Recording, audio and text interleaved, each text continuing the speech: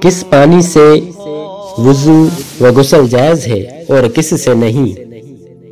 مسئلہ نمبر ایک، مینا، ندی، نالے، چشمے، سمندر، دریا، کنویں اور برف اولے کے پانی سے وضو و غسل جائز ہے۔ مسئلہ نمبر دو، جس پانی میں کوئی چیز مل گئی کہ بول چال میں اسے پانی نہ کہیں بلکہ اس کا کوئی اور نام ہو گیا، جیسے شربت یا پانی میں کوئی ایسی چیز ڈال کر پکائیں جس سے مقصود میل کاٹنا ہو، جیسے شوربہ، چائے، گلاب یا ارک۔ تو اس سے وضو و غسل جائز نہیں۔ مسئلہ نمبر تین، اگر ایسی چیز ملائیں یا ملا کر پکائیں جس سے مقصود میل کاٹنا ہو جیسے صابن یا بیری کے پتے، تو وضو جائز ہے۔ ہاں اگر پانی گاڑھا ہو جائے، تو وضو غسل جائز نہیں۔ اور اگر کوئی پاک چیز ملی، جس سے پانی کا رنگ یا مزہ یا بو بدل گئی، مگر اس کا پتلا پن نہ گیا، جیسے ریتا، چونا یا تھوڑی سی زعفران کا رنگ اتنا آ جائے کہ کپڑا رنگنے کے قابل ہو جائے۔ تو وضو و غسل جائز نہیں۔ یوں ہی پڑ گیا، یوں ہی پڑیا کا رنگ۔ مسئلہ نمبر چار۔ بہتا پانی کہ اس میں تنکا ڈال دیں تو بہا لے جائے۔ پاک ہے اور پاک کرنے والا ہے۔ نجاست پڑنے سے ناپاک نہ ہوگا۔ ہاں اگر نجس چیز سے پانی کا رنگ یا بو یا مزہ بدل گیا تو ناپاک ہو گیا۔ اب یہ پانی اس وقت پاک ہوگا۔ کہ نجاست نیچے بیٹھ جائے اور اس کا رنگ بو مزہ ٹھیک ہو جائے۔ مسئلہ نمبر پانچ۔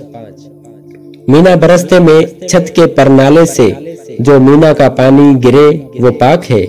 اگرچہ چھت پر جا بجا نجاست پڑی ہو، جب تک کہ نجاست کے سے پانی کا کوئی وصف رنگ مزہ، بو نہ بدلے اور اگر مینا رک گیا اور پانی کا بہنا موقوف ہو گیا تو اب چھت پر ٹھہرا ہوا پانی اگر چھت سے ٹپکے ناپاک ہے۔ مسئلہ نمبر چھ۔ وہ بڑے حوض جو عموماً مسجدوں میں بنائے جاتے ہیں یا جنگل کے وہ گڑھے اور تالاب جو در دہ در ہو یعنی جس کی لمبائی، چوڑائی سو ہاتھ ہو، ان کا پانی بہتے پانی کے حکم میں ہے۔ نجاست پڑنے سے ناپاک نہ ہوگا۔ جب تک نجاست سے رنگ یا بو یا مزہ نہ بدلے۔ مسئلہ نمبر سات۔ کسی درخت یا پھل کے نچوڑے ہوئے پانی سے وضو و غسل جائز نہیں۔ جیسے کیلے کا پانی یا انگور و انار اور تربوز کا پانی اور گنے کا رس۔ مسئلہ نمبر آٹھ۔ جو پانی گرم ملک میں، گرم موسم میں، سونے چاندی کے علاوہ کسی اور دھات کے برتن میں دھوپ میں گرم ہو گیا، تو جب تک گرم ہے، اسے کسی طرح استعمال نہ کرنا چاہیے۔ یہاں تک کہ اگر اس سے کپڑا بھیگ گیا، تو جب تک ٹھنڈا نہ ہو جائے، اس کے پہننے سے بچے۔ کہ اس پانی کے استعمال میں برس، سفید داغ کا اندیشہ ہے۔ مگر پھر بھی اگر وضو یا غسل کر لیا تو ہو جائے گا۔ مسئلہ نمبر نو۔ جو پانی وضو یا غسل کرنے میں بدن سے گرا، وہ پاک ہے، مگر اس سے وضو و غسل جائز نہیں۔ وضو یا غسل کرتے وقت پانی کے قطرے، لوٹے یا گڑھے میں ٹپکے، تو اگر اچھا پانی زیادہ ہے، تو یہ وضو اور غسل کے کام کا ہے، ورنہ سب بیکار ہے۔ مسئلہ نمبر دس۔ نابالغ کا بھرا ہوا پانی شرن اس کی ملک ہو جائے گا۔ اسے پینا یا اس سے وضو غسل کرنا یا کسی اور کام میں لانا اس کے ماں باپ یا جس کا وہ نوکر ہے، اس کے سوا کسی اور کو جائز نہیں۔ اگرچہ وہ اجازت بھی دے دے اور اگر وضو غسل کر لیا تو ہو جائے گا، مگر گناہ گار ہوگا۔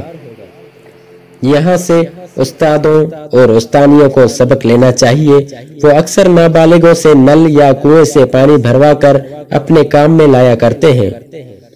اسی طرح بالغ کا بھرا ہوا پانی بغیر اجازت استعمال کرنا بھی حرام ہے۔ مسئلہ نمبر گیارہ۔ بچہ، بچے نے پانی میں ہاتھ ڈال دیا۔